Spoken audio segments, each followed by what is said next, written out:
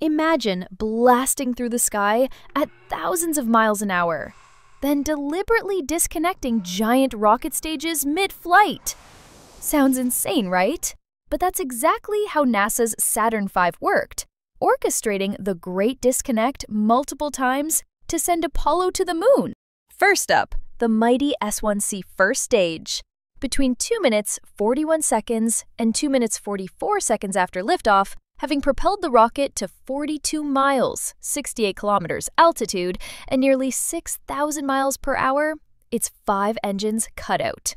Then, a series of explosive bolts fired. Simultaneously, eight powerful retro rockets on the S1C fired to push it away from the second stage. At the same moment, four small ullage motors on the S2 second stage fired to settle its propellants, ensuring a smooth ignition. Talk about precision timing. Next, around 9 minutes and 10 to 15 seconds into flight, the S2 second stage, having pushed the Apollo stack to between 109 and 115 miles altitude, performed its own graceful disconnect. Again, explosive bolts severed the connection.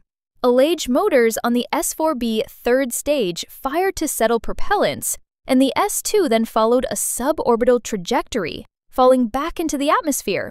It's job done! The final, critical disconnect happened approximately three hours after launch. After the S4B third stage completed its powerful translunar injection burn, pushing Apollo out of Earth orbit and towards the moon, it separated from the command and service modules. This was achieved with more explosive bolts and precise attitude gellage thrusters.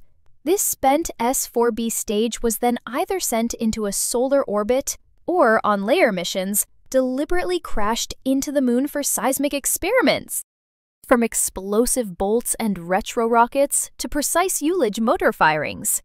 Each great disconnect was a meticulously choreographed dance of engineering, vital for shedding immense weight and propelling Apollo on its journey. It truly was a testament to NASA's genius. If you found this fascinating, hit that like button and let us know. We're almost there. We're nearly at a thousand subscribers, and every single one helps us launch more awesome content. Help us reach that milestone. Make sure you subscribe for more amazing stories about space exploration and the wonders of engineering. Now, tell us in the comments what other incredible feat of rocket engineering do you want us to explore next?